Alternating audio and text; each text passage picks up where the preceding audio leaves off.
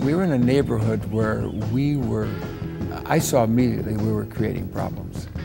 We were drawing large crowds, probably four or five times our capacity. We were right at the corner of Little Italy, at Cornell and Random.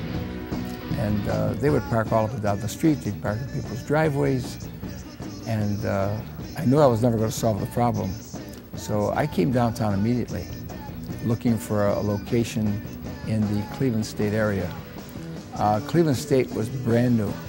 They, I think, had 2,200 students at the time because they had just been formed, maybe the year before, took over Fenn College. And I found a place which they were about to tear down. It gave me the lease for 20 years. It was a lot of work, but we built, I think, what was a very, very beautiful club. We built an adult club for 18-year-olds, and that's what we were trying to do.